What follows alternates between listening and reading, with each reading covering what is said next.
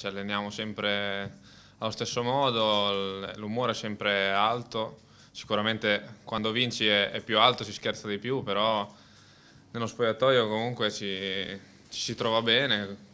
come, come prima insomma. È ovvio che i risultati aiutano a stare bene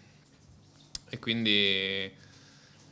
a volte vengono anche con un po' di fortuna, un po' di casualità e quello è quello che secondo me ci è mancato in queste quattro giornate. Un, un episodio positivo da cui partire per poi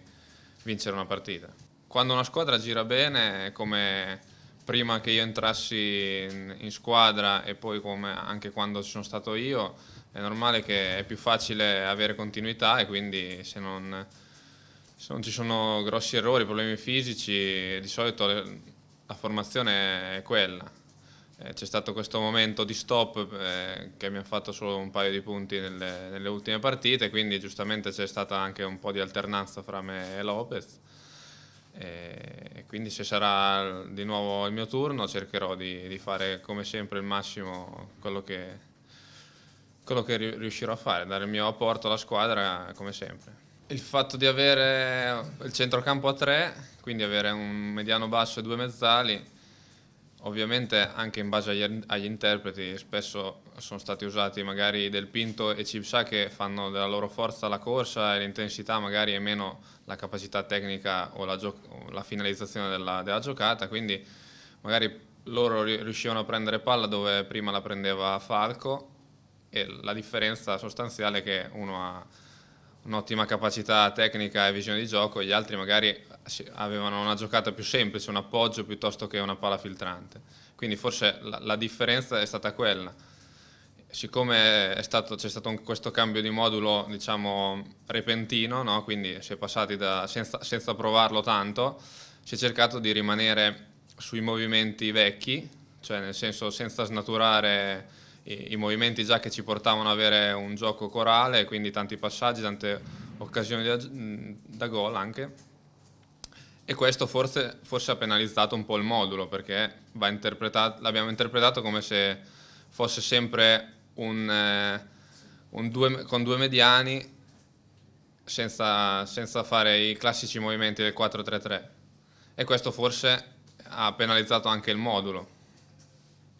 però sic sicuramente era, era, più semplice fare in questo modo piuttosto che cominciare a lavorare su un modulo diciamo nuovo comunque perché non l'abbiamo mai provato e quindi magari fare confusione e,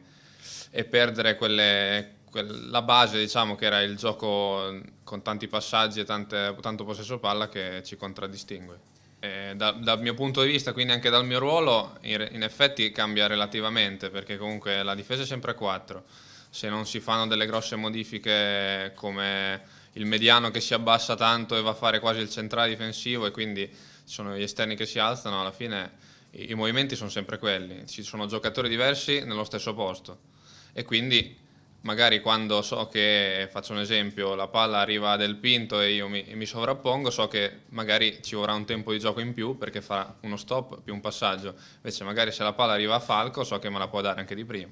Quindi è solo, è solo questione di, di, capire chi ha la palla e come muoversi di conseguenza. Se hai sempre giocato in un certo modo e quindi l'hai provato anche in partita, sicuramente ti aiuta a avere confidenza sul,